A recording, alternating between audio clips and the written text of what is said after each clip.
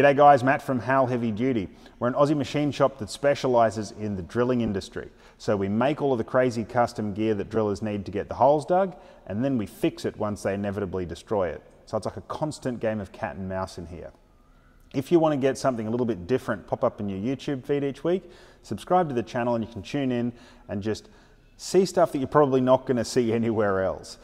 And speaking of which, we're currently right in the middle of building our mega drill. It's a three meter drill bit that's going to go 250 meters deep. That's 10 feet wide, 800 feet into the earth, and it's off the charts. So we've built the rods, we're tool joints, we've got the actual drill bit itself and a custom big rig that's been manufactured to be able to power this sucker. Um, at the end of the accumulation of all of this, we're going to go out together on site and you can actually see the full setup and see how this hole gets dug. It blows the mind that it doesn't just spin the rig around on the pad. Anyway, that's enough from me. Let's get into it. So this week's video is a bit of a part two from last week, where we are finishing off the drive sub for this monster auger. Where we'd left off, two of the four sides had been machined and it just needed a few holes drilled in it and then we have to test fit it. So if you missed last week or you haven't checked it out yet, I'll give you the 60 second version just to bring you up to speed.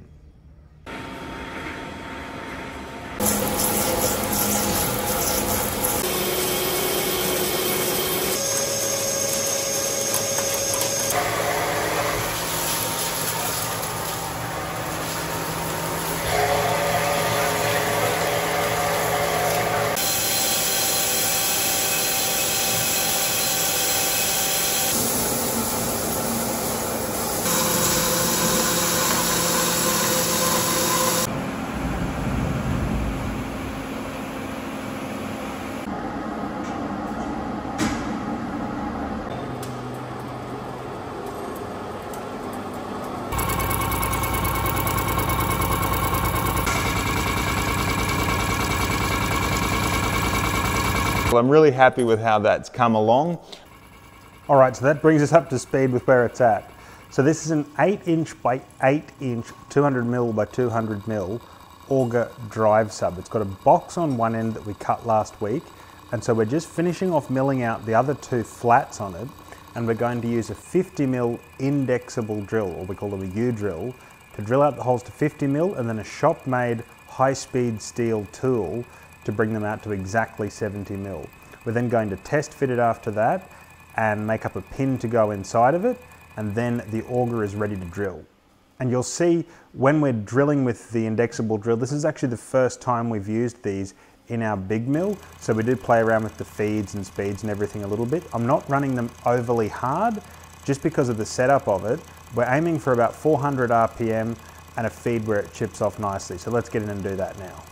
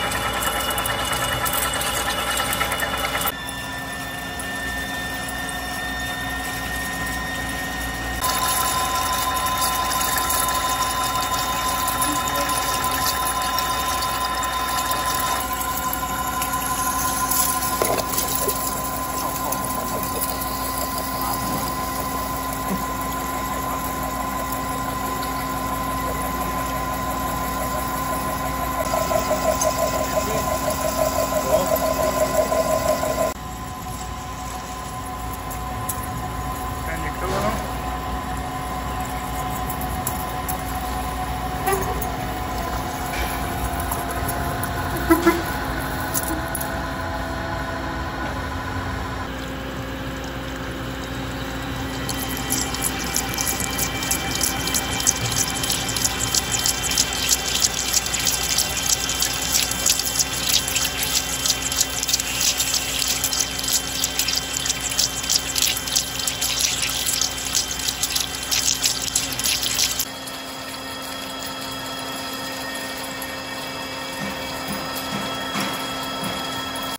We had to get a bit creative to get a 70 mil hole here. And this particular tool, we want to make sure we've got enough clearance because the first hole's only 50 mil, so we've chosen a 40 mil shank there. It's going to vibrate because of the length of it. There's nothing we can do about that, so we'll just let it cut nice and slow. It'll hum around a little bit, but it'll cut to size and then we'll polish it out later.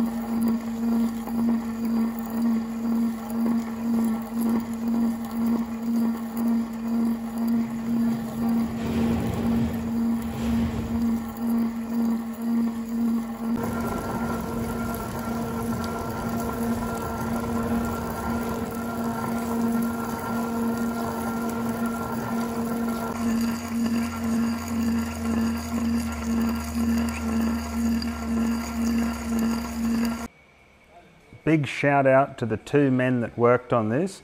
So Heath and Willie, so young Willie at 16 years old with Heath's guidance, managed to do this all himself, the milling, the drilling, the lot. He's a bloody rock star and he's going to be a fantastic tradesman.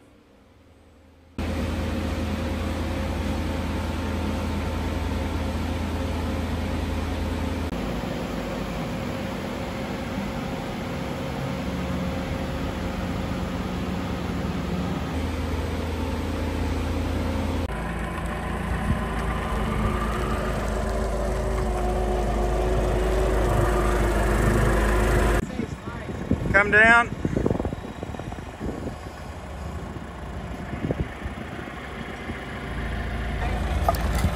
Up.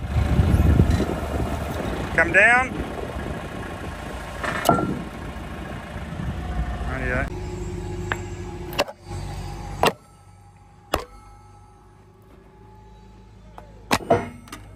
Alright, drop it. Go again. Again. One more for good luck.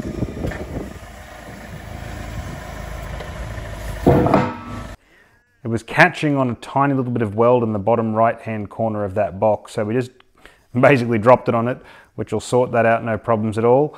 And now that we're sure it lines up, it's time to go back in the shop and make a 65 mil pin. Always want a bit of play in these things because out in the field, you don't want stuff that's too tight. So let's go and make that now.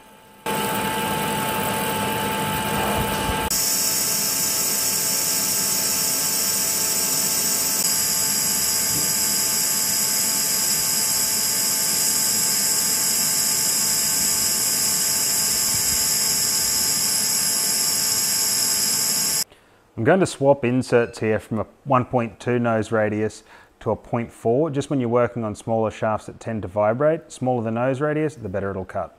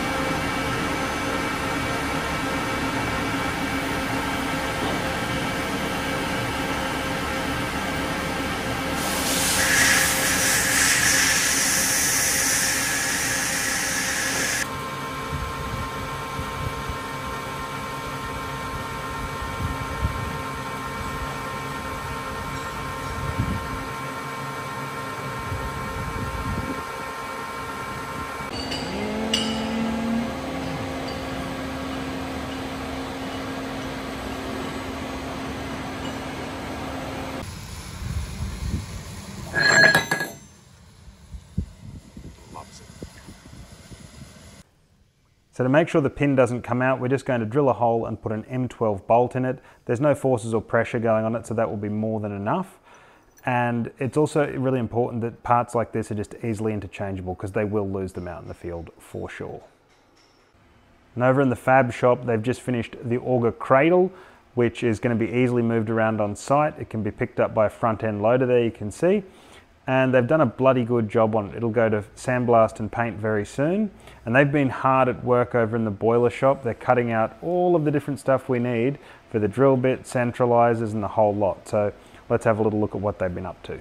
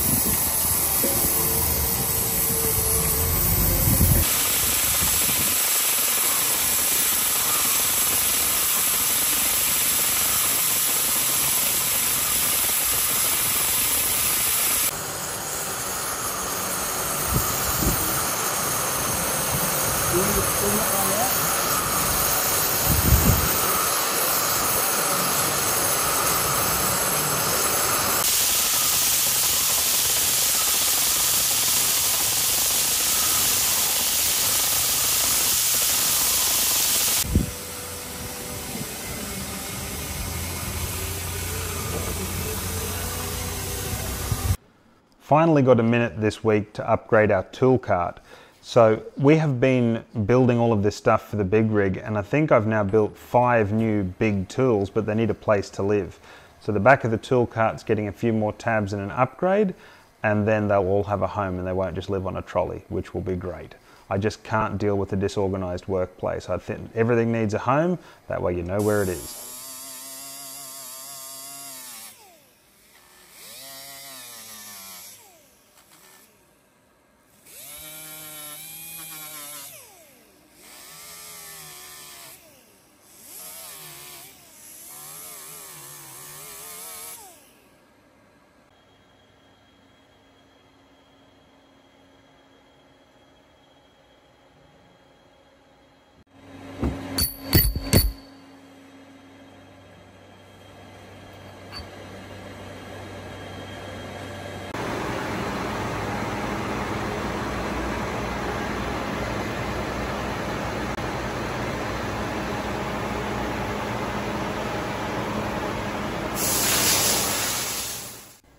Before becoming a machinist, I was actually working to be a boilermaker.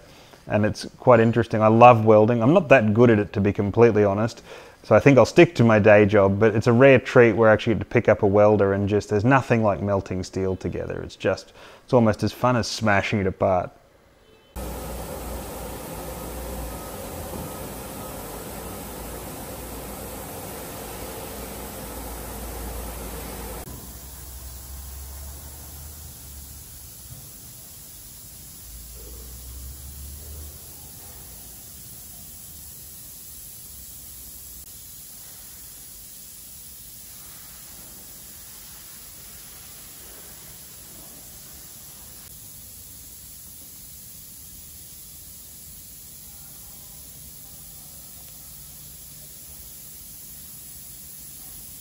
Radio guys, well I'm really happy with how that turned out.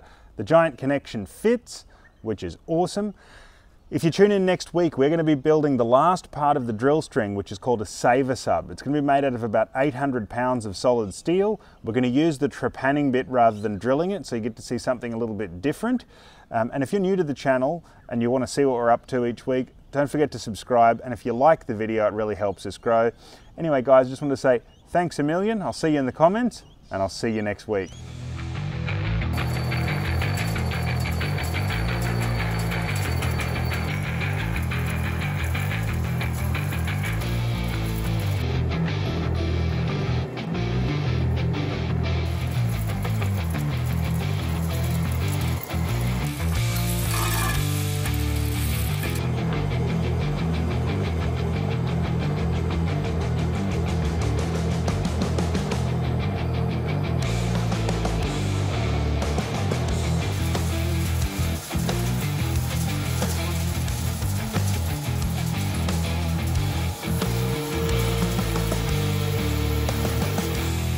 Got it under control there. Tedster. Alright, he wants the Hulk.